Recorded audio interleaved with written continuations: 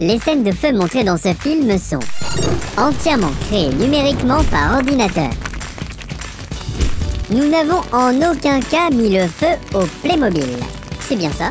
Tout à fait, nous n'avons pas mis le feu. En aucun cas.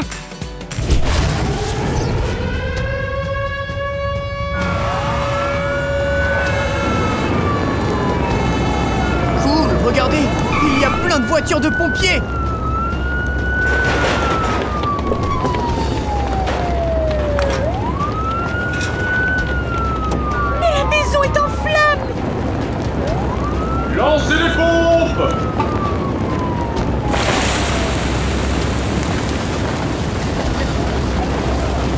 Oui, mais heureusement, tout ça n'est qu'un exercice.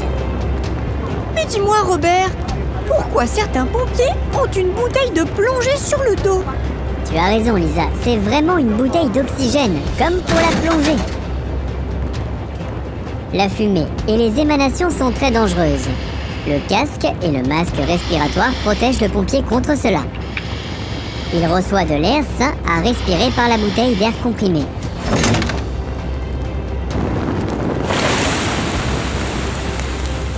Grâce à ça, le feu ne le dérangera pas du tout Si, car même si la combinaison est faite à partir d'un matériau à peine inflammable, le feu est très dangereux.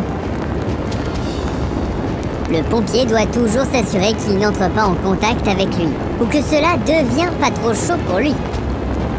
Regardez Qu'est-ce que c'est? C'est un robot de lutte contre l'incendie. Si c'est trop dangereux pour les pompiers, par exemple parce qu'il y a un incendie dans un tunnel, ou si on craint que le bâtiment soit sur le point de s'effondrer, alors on utilise un robot de lutte contre l'incendie. Il peut être piloté à une distance sûre et éteindre le feu. Oh là là Le pauvre Oui, je ne voudrais pas être à sa place. Qu'est-ce que c'était? Je viens de recevoir un email de Bennett en Allemagne. Il a une question sur les pompiers. Cool Il s'appelle comme moi C'est quoi sa question?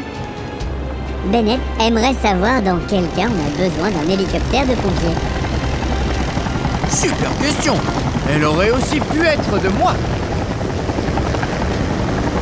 Un hélicoptère de lutte contre l'incendie est toujours utilisé lorsque le feu est très difficile à atteindre.